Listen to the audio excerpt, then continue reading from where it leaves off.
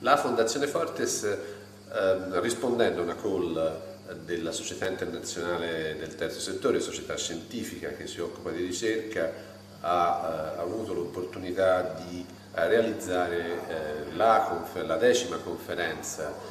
per l'appunto di STR, cioè della Società Internazionale del Terzo Settore, eh, affiancandola con un programma culturale che raccontasse l'Italia senza stereotipi, senza eh, luoghi comuni, ma che invece sottolineasse la grande forza, la grande capacità eh, di questo Paese di promuovere coesione sociale, innovazione sociale eh, nei territori e nelle comunità e anche e soprattutto come sistema paese. Eh, Quest'idea di affiancare alla parte scientifica che è particolarmente ricca ha consentito di far sì che eh, Fortes potesse continuare nel ruolo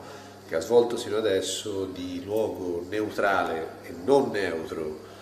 ma eh, neutrale di sicuro, di scambio, di incontro, di confronto fra prospettive e punti di vista completamente diversi.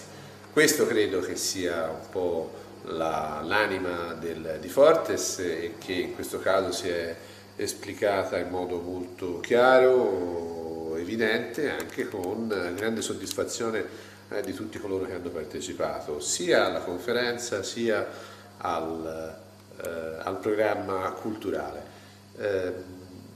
questo è un primo passo importante eh, perché il confronto che abbiamo fatto nelle iniziative precedenti erano confronti e incontri eh, prevalentemente di livello nazionale con qualche inserimento internazionale importante, adesso ci siamo spostati a un confronto quasi completamente di livello internazionale con qualche inserimento nazionale. È un po' questa la prospettiva e cercheremo di portarla avanti nel modo più intelligente e eh, continuativo possibile.